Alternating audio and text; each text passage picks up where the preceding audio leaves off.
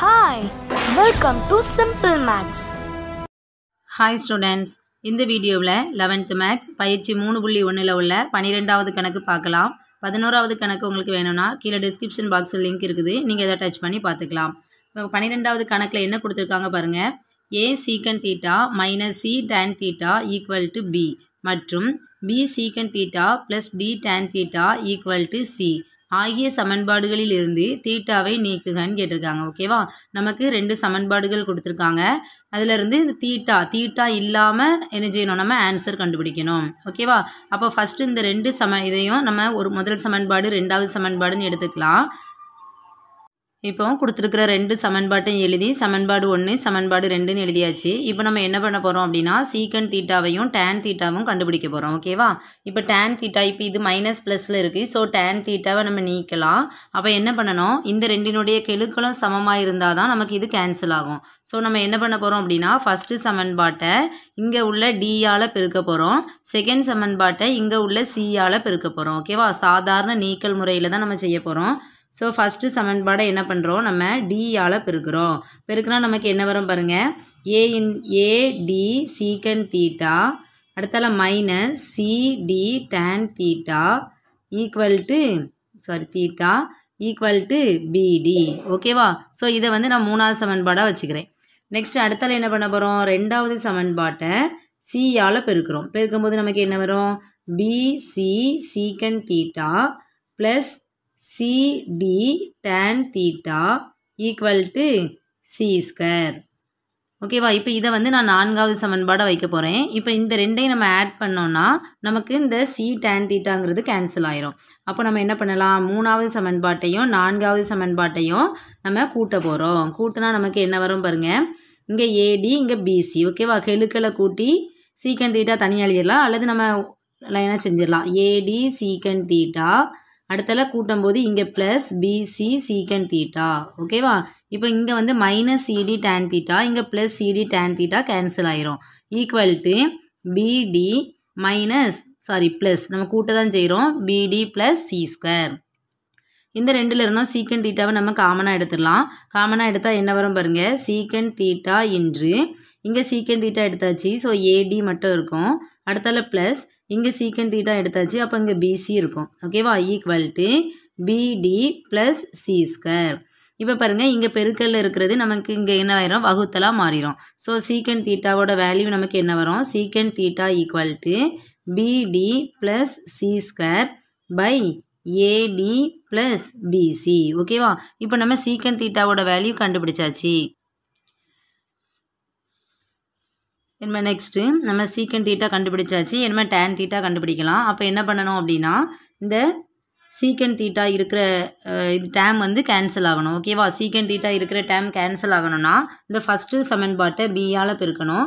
Second சமன்பாட்டை இங்கே உள்ள கேள்வி ஏயால் பெருக்கணும். பெருக்கணுன்னா நமக்கு ஆன்சர் கிடச்சிரும். ஓகேவா ஸோ ஃபஸ்ட்டு சமன்பாடை என்ன பண்ணலாம்? பியால் பெருக்கிறோம். பெருக்குனா என்ன வரும் பாருங்கள் AB secant theta minus BC tan theta equal to B square ஓகேவா இப்போ இதை வந்து நான் ஐந்தாவது சமன்பாடுன்னு வச்சுக்கிறேன். நெக்ஸ்ட்டு ரெண்டாவது சமன்பாட்டை ஏயால் பெருக்கலாம். ஏயால் பெருக்குனா என்ன வரும்? AB secant theta plus AD tan theta equal to AC ஓகேவா? ஏயால் பெருக்கியிருக்கோம். அப்போ இது வந்து ஆறாவது சமன்பாடு. இப்போ பாருங்கள் இந்த ரெண்டும் சேமாக இருக்குது. ஸோ நம்ம என்ன பண்ண போகிறோம் இங்கே வந்து ஒரே அடையாளமாக இருக்கிறதுனால இந்த ரெண்டையும் கழிக்க போகிறோம் அப்போ ஐந்தாவது சமன்பாட்டில் இருந்து ஆறாவது சமன்பாடை கழிக்கலாம் ஓகேவா இப்போ கழிக்கணும் அப்படிங்கும்போது எந்த சமன்பாடுக்கு முன்னாடி நீங்கள் மைனஸ் போட்டிருக்கீங்களோ அந்த சமன்பாட்டினுடைய அடையாளங்கள் மாறும். இங்கே ப்ளஸ் இருக்குது ஸோ மைனஸ் ஆயிரும். இங்கேயும் ப்ளஸ் இருக்குது மைனஸ் ஆகும். இங்கேயும் ப்ளஸ் இருக்குது மைனஸ் ஆயிரும் ஓகேவா இப்போ பாருங்கள் ப்ளஸ் ஏபி சீக்கன் தீட்டாவும் மைனஸ் ஏபி சீக்கன் தீட்டாவும் கேன்சல் ஆயிரும். அடுத்து நமக்கு இங்கே என்ன இருக்குது? Minus BC tan theta next இங்கேயும் மைனஸ் தான். Minus AD tan theta equal to இங்கே என்ன இருக்குது? பி ஸ்கொயர் மைனஸ் ஏசி ஓகேவா பி ஸ்கொயர் மைனஸ் ஏசி இப்போ என்ன பண்ணலாம்? இந்த மைனஸ் டேன் தீட்டாவை நான் காமனாக வெளியில் எடுக்கிறேன். அப்போ என்ன வரும் பாருங்கள் இதில் மைனஸ் வெளியில் எடுத்தாச்சு டேன் தீட்டாவும் வெளியில் எடுத்தாச்சு. அப்போ பிசி இருக்குது. இங்கேயும் மைனஸ் வெளியில் எடுத்தாச்சு டேன் தீட்டா வெளியில் எடுத்தாச்சு. அப்போ நமக்கு ப்ளஸ் ஏடின்னு இருக்கும். ஓகேவா ஈக்குவல் டு இப்போ இதிலிருந்தும் நம்ம மைனஸை கா காமனாக எடுத்துடலாம். அப்போ ப்ளஸ் பி ஸ்கொயர் வந்து மைனஸ் பி ஸ்கொயராக மாறும். ப்ளஸ் மைனஸ் ஏசி வந்து ப்ளஸ் ஏசியாக மாறும். அப்போ ப்ளஸ் உள்ளதை நம்ம முதல்ல எழுதிக்கலாம். ஏசி மைனஸ் பி ஸ்கொயர் ஓகேவா இப்போ பாருங்கள் ரெண்டு பக்கமுமே நமக்கு மைனஸ் இருக்குது. ஸோ நம்ம மைனஸை கேன்சல் பண்ணிடலாம். இதிலிருந்து நம்ம டேன் தீட்டாவோட வேல்யூ கண்டுபிடிப்போம். ஈக்குவல் டு இங்கே என்ன இருக்குது? ஏசி மைனஸ் பி ஸ்கொயர்னு இருக்குது. இங்கே பெருக்கல்ல இருக்கிறது இந்த சைடு வரும்போது நமக்கு என்னமாயிரும்? வகுத்தலாக மாறும். பிசி ப்ளஸ் ஏடி ஓகேவா இப்போ நம்ம டேன் தீட்டாவோட வேல்யூவை நம்ம கண்டுபிடிச்சாச்சு. நமக்கு என்ன இருக்கக்கூடாது அப்படின்னா தீட்டாவை வந்து நீக்க சொல்லி கேட்டிருக்காங்க. ஸோ நமக்கு தெரிஞ்ச ஃபார்ம்லாம் secant square theta minus tan square theta equal to ஒன்று. இது வந்து ஒரு இயற்கணித முற்றொருமை. ஓகேவா ஸோ அந்த ஃபார்முலாவில் நம்ம போட போகிறோம் secant square theta minus tan square theta equal to ஒன்று. ஓகேவா இந்த ரெண்டையும் நம்ம ஸ்கொயர் பண்ணி மைனஸ் பண்ணோன்னா அதனுடைய மதிப்பு ஒன்று. இது ஒரு இயற்கணித முற்றொருமை. இப்போ இதில் கொண்டு நம்மளுடைய சீக்கன் தீட்டாவையும் டேன் தீட்டாவையும் நம்ம அப்ளை பண்ண போகிறோம் சீக்கன் தீட்டாவுக்கு பதிலாக சீக்கன் தீட்டாவில் என்ன இருக்குது BD plus C square by AD plus BC the whole square அடுத்தல minus tan square theta tan தீட்டாவில் என்ன இருக்குது? AC minus B square by BC plus AD ஓகேவா the whole square equal to ஒன்று. இப்போ நம்ம என்ன பண்ண போகிறோம் இந்த ஸ்கொயரை வந்து மேலே உள்ளதுக்கும் ஸ்கொயர் உண்டு கீழே உள்ளதுக்கும் ஸ்கொயர் உண்டு. ஸோ நம்ம அப்படி எழுதிக்கலாம். BD plus C square the whole square by AD plus BC the whole square அதே மாதிரி இங்கேயும் நம்ம ஸ்கொயர் தனியாக எழுதிக்குவோம். AC minus B B square the whole square by BC plus AD the whole square equal to ஒன்று இப்போ பாருங்கள் ஏடி plus PC இங்கேயும் நமக்கு ஏடி ப்ளஸ் பிசி தான் இருக்குது. த ஹோல் ஸ்கொயர் ஸோ நம்ம இதை நம்ம என்ன செய்ய போகிறோம் மீச்சம் எடுக்க போகிறோம் அப்போ AD plus BC the whole square இங்கே நமக்கு அது கீழே பகுதி வந்து சேமாக தான் இருக்குது அப்போ மேலே உள்ளதை நம்ம அப்படியே எழுதிக்கலாம்.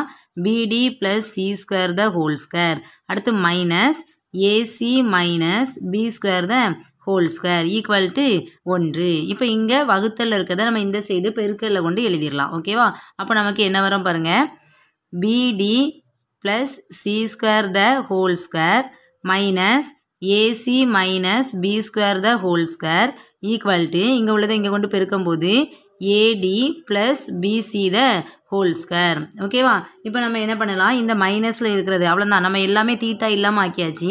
இந்த மைனஸில் இருக்கிற டேமை ஈக்குவலுக்கு அந்த சைடு கொண்டு எழுதணும்னா நமக்கு அதோட ஆன்சர் முடிஞ்சுது. ஓகேவா அப்போ நமக்கு என்ன வரும் பாருங்கள் BD plus C square the whole square equal to இங்கே நமக்கு என்ன இருக்குது? AD plus BC the whole square இந்த மைனஸில் இருக்கிற டேமை இந்த சைடு கொண்டு வந்துடுவோம் plus AC minus B square the whole square ஓகேவா இதுதான் தீட்டாவே நீக்கின ஒரு சமன்பாடு. ரெண்டு சமன்பாடுகள் கொடுத்துருந்தாங்க. ஸோ அந்த சமன்பாடில் நம்ம என்ன கண்டுபிடிச்சோம்? சீக்கன் தீட்டா என்ன? டேன் தீட்டா என்னன்னு கண்டுபிடிச்சோம். கண்டுபிடிச்சு அதை வந்து நமக்கு தெரிந்த முற்றொருமை. ஓகேவா இந்த முற்றொருமையில் கொண்டு நம்ம இதை அப்ளை பண்ணோம்னா நமக்கு தீட்டா இல்லாத அந்த சமன்பாடு வந்து நமக்கு கிடைச்சிட்டு. ஓகேவா நெக்ஸ்ட்டு கணக்கை நெக்ஸ்ட் வீடியோவில் பார்க்கலாம். தேங்க்ஸ் ஃபார் வாட்சிங்